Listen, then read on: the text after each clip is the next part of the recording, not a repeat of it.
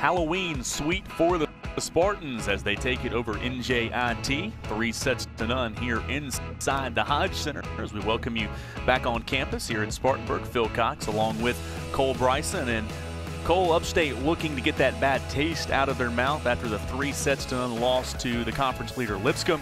Already had some confidence going into this game, already beating NJIT once, and they really uh, played well today, getting the win over the Highlanders.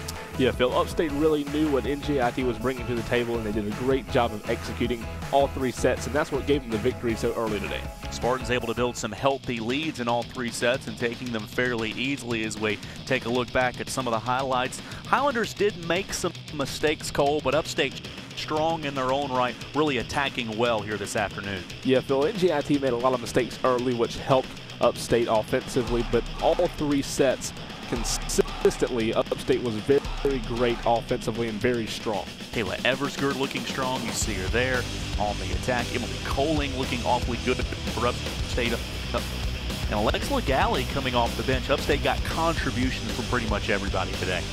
A lot of team ball played today, Phil, from Upstate. And when you play team ball, that helps, you know, the victory that Upstate got. Spartans getting the three sets to none win over NJIT here on this Halloween afternoon. Looking at things from an individual standpoint, these are two young ladies that we highlighted at the top. Eversger just missing out on that double-double.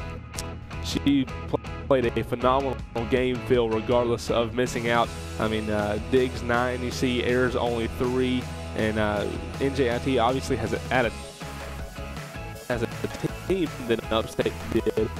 But uh, Eversgerd with a lot of kills as well, twice as many as Vukovic. A preseason all-conference selection really having a nice game.